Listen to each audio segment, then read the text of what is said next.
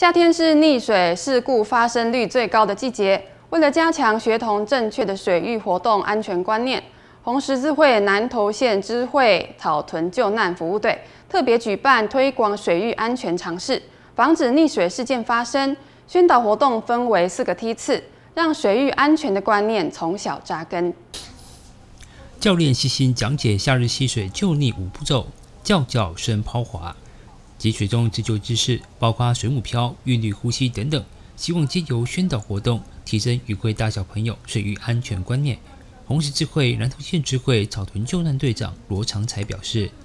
时常看到媒体报道小朋友因为戏水而发生不幸憾事，因此救难队在空闲之余办理水域安全推广。看到那个常常电视在看到那个小朋友都溺毙，还是家长下去救人的话，哈。就连续溺溺毙好几个，啊，我们就想说，我们那个救灾队哈，就是在有空闲的时候，顺便推广这个水域安全，这是水水上救灾啦。我们人们人不用下去水水里在救救人呐，这是水上安全的一部分呐。我们是平平常都是在训练救生员。啊，如果有空闲，就是推广，顺便推广这个水上救生。另外，教练简兆玉也表示，利用寓教于乐、浅显易懂方式，让参与学员能够学到许多使用技能，借此除了能够将防溺观念向下扎根，达到保护自己，也可以帮助他人目的。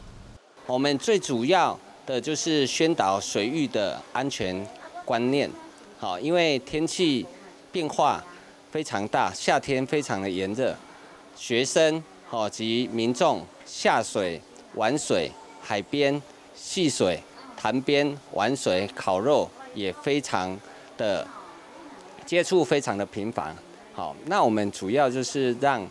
我们的民众有水域安全的概念，嘿，让他在啊玩水之余可以保护自己，好，也可以保护他人的安全。好，那最重要的就是不要贸然的下水，好，不要说看到有人溺水，我们有游泳的能力，好，或是游泳很好，就贸然下去，因为在水水里面，好变化无常，好很容易造成我们身体的外伤，好，然后再加上如果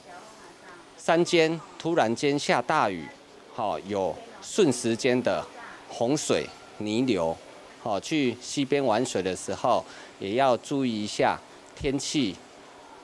天气的预报。延期时间，家长也可以陪同参与。家长就表示，参加水域安全宣导活动，除了可以增进水域常识，并可培养亲子感情。万一遇到类似事件，能够有好的应变措施，对自己或是他人都是很好的保障。就每一次水上救生啊，只要有伴啊，我都会带小朋友就是过来参加。